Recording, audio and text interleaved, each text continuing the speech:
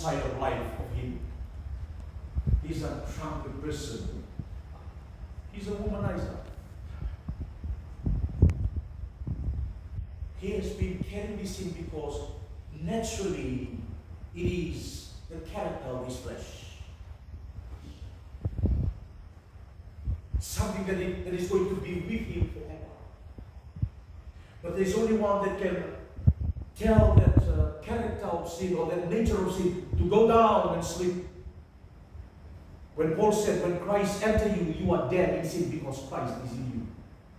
So sin can only be utilized not to work anymore when Christ is in. So the moment Christ is in your life, sin no more has any power to overcome or rule you or master. Amen.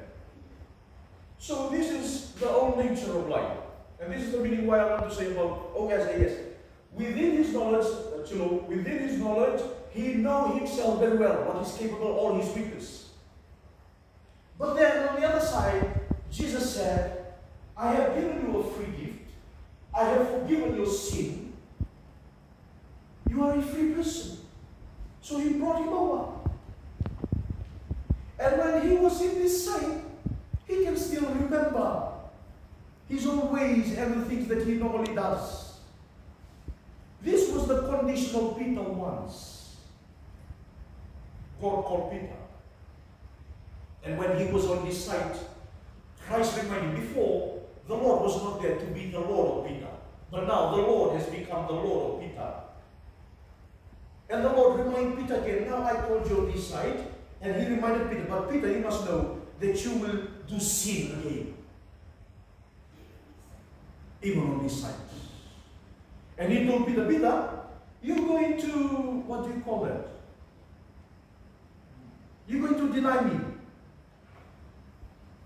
You know, to deny the only Savior that is your hope, that is the biggest sin.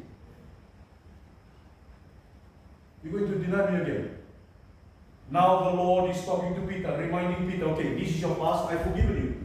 But now this is your present. You're about to do something again on this present time, and I also know your future. Now he becomes the Lord of your life. So everything you already done and the things that you're about to mistakenly done today, you must not disrespect the presence of Him that He becomes your Lord. Every wicked things you have done today, not because you intended to do it, but because you are too weak, you must respect that Christ is your Lord on this side. Amen. Amen. Amen. If you are here tonight, you already received, received Jesus Christ to be your Lord and your Savior. Don't even think once that you still have to deal with yourself while Jesus become your Lord. Because on this side, I'm alone. I deal with all my issues. I find my own way out. I fight with my own strength. So whoever want to point at me, I tell them I don't care. But this I know, somebody is dealing with your past, your present, and your future. That is the meaning of OSAS.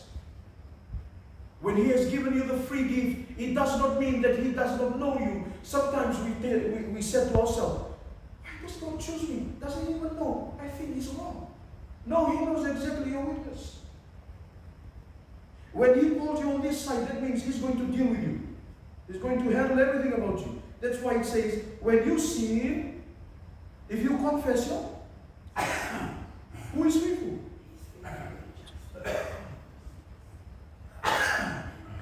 Stop trying to take over the position of the Lord when you are wrong on this side.